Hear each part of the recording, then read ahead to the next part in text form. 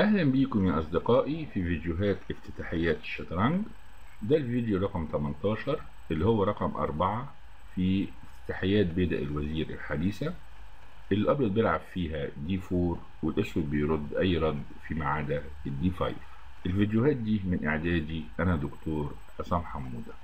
ده الفيديو التاني اللي بنخصصه لدفاع النمزو هندي وهنشوف فيه تفريع واحد وهو تفريع روبنشتاين.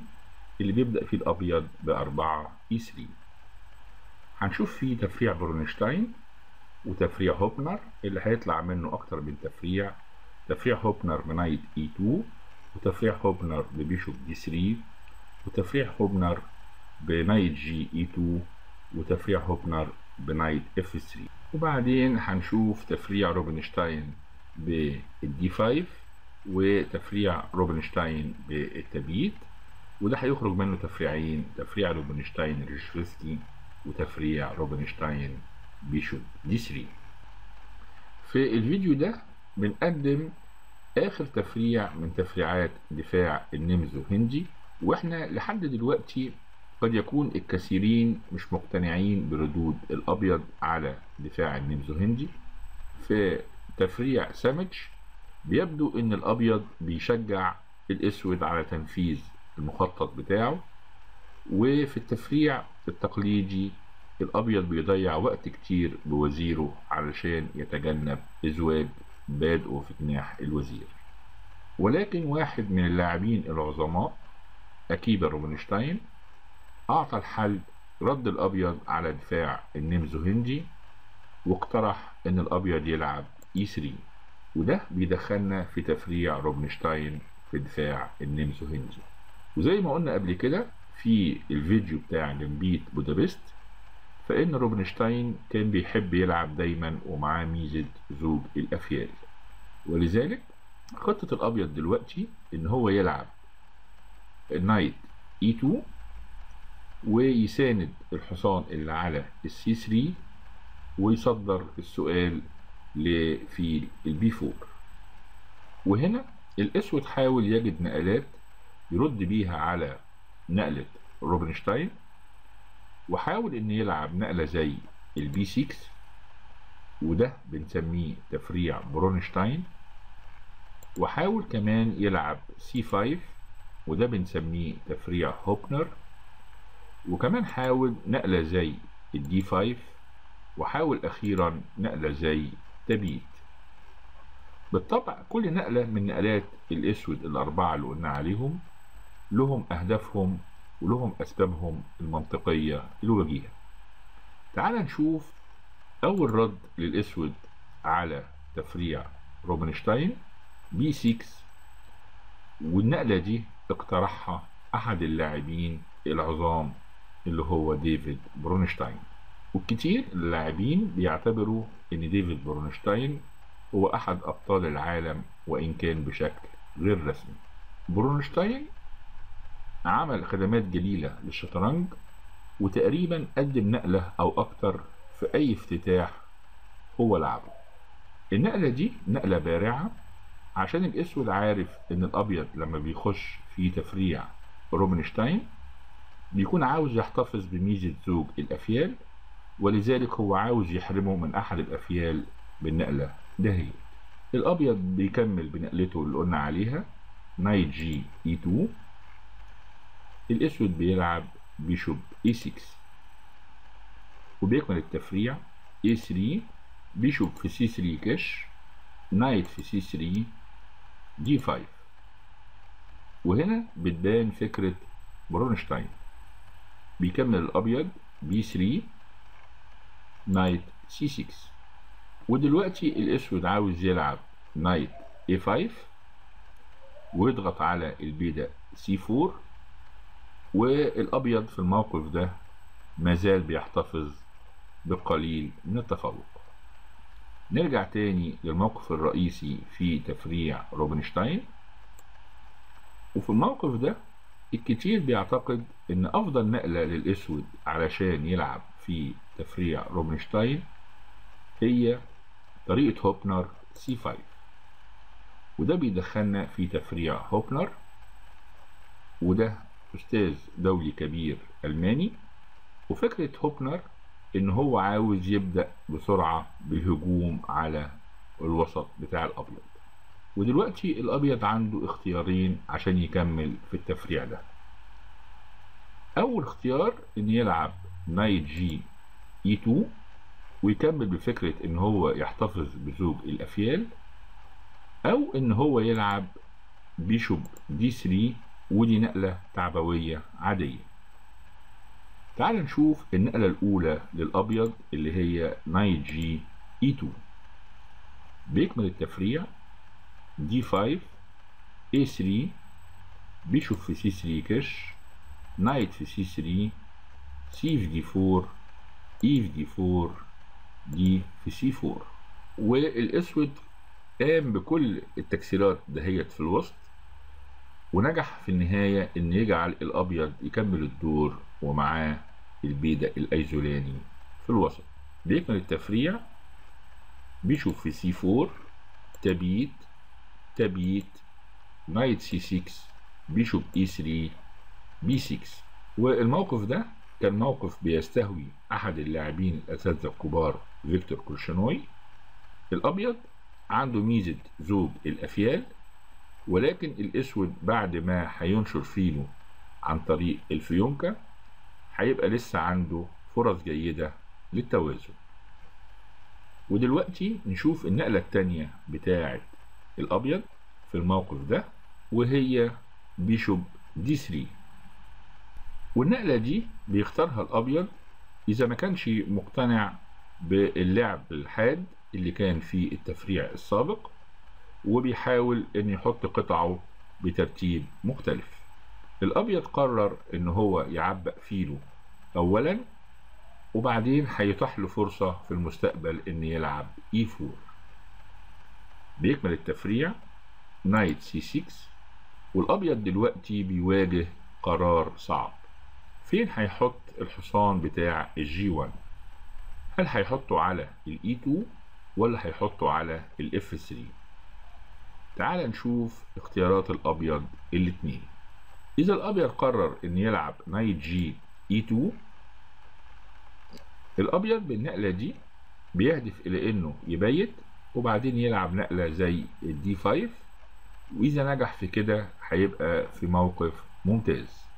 الأسود بالطبع عليه إن هو بسرعة يتفاعل في الوسط وبيلعب C في D4 E في D4 D5 A3 D في C4 bishop في C4 bishop E7 وده موقف تاني خرج منه الأبيض ببيدق الوزير المعزول في الوسط اللي إحنا بنسميه ال isolani. والأدوار العملية كانت في صالح الأبيض لأنه من السهل عليه إن هو يلعب ال D5 مع التفوق علشان عنده تعبئة. أفضل. طيب تعال نشوف النقلة التانية للأبيض في الموقف ده. بعد ما شفنا ال knight E2 الأبيض هيقرر في المره دي إن هو يحط الحصان في ال F3 وفعلا بيلعب knight F3 الأبيض بيقرر إن يحط حصانه في الاف 3 علشان كتير من الأساتذة الكبار بيكونوا مقتنعين بأن ده أفضل مكان للحصان عنه في المربع. اي 2 الأبيض عارف إن هو هيلعب بقية الدور ببيدق معزول في الوسط اللي هو الأيزولاني زي ما حصل في الخطوط السابقة. ولكن كمان بيتوقع إن دلوقتي هيبقى حصانه في مكان أفضل. الأسود هنا بيغير خطته وبيكمل. bishop في C 3 كش B في C 3 وهنا بيلعب الأسود نقلة قوية D 6 وهنا بيبان التغير في خطة الأسود. فالأسود دلوقتي عاوز إن هو يقفل الوسط وهيحاول إن هو يلعب E5 وساعتها هيبقى أفيال الأبيض بتعاني معاناة شديدة من أجل إن هم يتنشطوا. بيكمل التفريع تبييت E5 وهنا الأبيض بيرد بنقلة قوية نايت دي 2 الأبيض بالنقلة دي عمل مفاجأة وغير خطته هو كمان ودلوقتي هو عاوز يلعب نقلة زي ال F 4 بيكمل التفريع تبييت. بالطبع الاسود لو ملعبش التبييت ولعب نقلة زي C في D 4 فدي نقلة سيئة. الأبيض هيكمل C في D 4 E في D 4 E في D 4 knight في D 4 bishop B 2 knight E 6 knight E 4 وأفيال الأبيض أصبحت نشيطة. ولذلك الأسود بعد ما الأبيض بيلعب ال knight D 2 بيسيب الوسط معلق وبيلعب تبيت. وبيكمل التفريع. D 5 knight E 7 queen C 2 ودلوقتي الأبيض حضر للعب ال F 4 وهيحصل على فرص جيدة للحصول على المبادرة. بينما الاسود هيحاول إن هو يحتفظ بالموقف مغلق وهيتأكد من عدم تعاون الفيلين اللي الأبيض بيحوزهم الأدوار العملية أوضحت إن الموقف ده بيميل للتوازن على الرغم من إن الأسود لابد إن يلعب بكل حذر وحيطة. نرجع تاني للموقف الرئيسي في تفريع روبنشتاين وإحنا شفنا في تفريع برونشتاين وفي تفريع هوبنر إن الأسود بيلعب على الجانب ولكن المرة دي الأسود هيلعب بالطريقة التقليدية في الوسط وهيلعب D 5 الأسود عاوز يبقي المربع بتاع ال E 4 متغطي بطريقة جيدة على قد الإمكان وإذا استطاع أن يحرم الأبيض من فكرة لعب ال E 4 فده معناه إن فيل ال C 1 هيفضل خامل لمدة طويلة. بيكمل التفريع A3 bishop في C 3 كش الأسود كمان ممكن هنا يجرب إن هو يرجع بالفيل بتاعه bishop E 7 وبيكمل التفريع ده. knight F 3 تبييت B 4 والأبيض عنده بعض التفوق في الوسط وفي جناح الوزير وكمان ما تخلاش عن ميزة زوج الأفيال. ولذلك في الموقف ده الأسود بيكمل ب bishop في C 3 كش وبيكمل التفريع B في C 3 C 5 الهجوم ده في الوسط بيكون ضروري بالنسبة للأسود فهو عارف إن الأبيض في أحد الأوقات هيلعب ال C 4 في ال D 5 وهنا هيبقى البيدق بتاع ال C 3 هو أحد الأسلحة له في اللعب في الوسط. وبيكمل التفريع bishop D 3 تبييت knight E 2 B 6 الأسود بالنقلة دي بيحضر الفيل للانتشار عن طريق الوتر الطويل ودي بتكون إشارة للأبيض بإن حان الوقت لتكسير بيدق ال C 4 وفعلا الأبيض بيكمل C في D 5 E في D 5 knight G 3 ولو إحنا لاحظنا الموقف اللي وصلنا له وقارناه بالملاحظة اللي قلناها في تفريع سامتش فده تقريبا تحول كامل لهذا الموقف.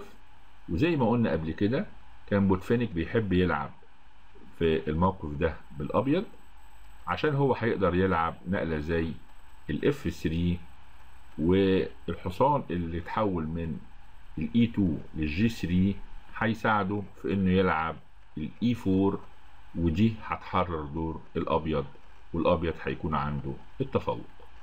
نرجع تاني للموقف الرئيسي في تفريع روبنشتاين وهنشوف آخر نقلة للأسود في الموقف ده وهي تبيت. والنقلة دي هي أكثر النقلات انتشارا بين اللاعبين. فالأسود بيجي بملكه إلى الأمان وفي نفس الوقت بيحتفظ بمرونة دفاعية يقدر بيها إن هو ينفذ أي اختيار كان عاوز يلعبه في التفريعات السابقة. فهو لسه ما حركش بيدق الوسط ويقدر في أي وقت إن هو يلعب نقلة زي ال D 5 أو نقلة زي ال D 6 ويحط بيادقه على مربعات سوداء أو مربعات بيضاء في الوسط. وهنا الأبيض عليه إن هو يختار بين نقلتين يا إما يلعب knight G E 2 وده بنسميه تفريع ريشيفسكي أو يلعب bishop d 3 تعال نشوف أول نقلة للأبيض وهي تفريع ريجفسكي في تفريع روبنشتاين. الأبيض بيلعب knight g e 2 وزي ما كان بيحب أكيبا روبنشتاين إن يلعب ومعاه ميزة زوج الأفيال كذلك كان ريجفسكي الأبيض دلوقتي فورا هيلعب نقلة زي ال a 3 ويقدر إن هو بعد التكسير ياخد الفيل بالحصان اللي على ال e 2 الاسود دلوقتي مجبر إن هو يتفاعل مع النقلة دي في الوسط وبيلعب d 5 الأبيض بيرد بنقلته اللي عاوزها a 3 وهنا الفيل الأسود مجبر على التراجع وبيلعب bishop e 7 الفيل ممكن ما يرجعش للمربع e 7 ويرجع بس للمربع d 6 وهنا بيكمل الأبيض سي 5 وبيضطر الفيل يتراجع لل e 7 bishop e 7 وبيلعب الأبيض b 4 وهنا الأبيض سمح له إنه يحوز على مساحة كبيرة في جناح الوزير. ولذلك لما الأبيض بيلعب ال a 3 الأسود مجبر إن يرجع بالفيل إلى ال e 7 وبيكمل knight f 4 ورجفسكي عمل نتائج باهرة بالموقف اللي بيوصل له من هذا التفريع واللاعبين الكبار بيقولوا إن الأبيض هنا له التفوق. نرجع تاني للموقف اللي كنا بنحلل فيه في تفريع روبنشتاين. والأسود لعب تبيت والأبيض هنا بدل ما هيلعب ال knight g e 2 هيلعب bishop d 3 الأبيض هنا ما اعتمدش إنه يحرك الحصان وبينتظر عشان يشوف إزاي الأسود هيتفاعل في الوسط. الأسود بيرد برده المعتاد سي 5 وهنا بيلعب الأبيض knight f 3 وبيحط حصانه في مكان أفضل. والأسود بيكمل. d 5 تبييت d في c 4 bishop في c 4 b 6 وده بيمثل موقف ابتدائي لتفريع روبنشتاين. الخطط هنا هو إلى حد كبير معقدة ويبدو أن الموقف ده محتاج لدراسة أكتر. الأسود بنقلته الأخيرة بيحضر أن هو يلعب ال bishop. لل a 6 ويكسر أفضل قطعة عند الأبيض. ومعظم الأدوار بتتكمل queen e 2 bishop b 7 روك دي 1 وبننتظر من الموقف ده صراع قوي وجميل بين الطرفين.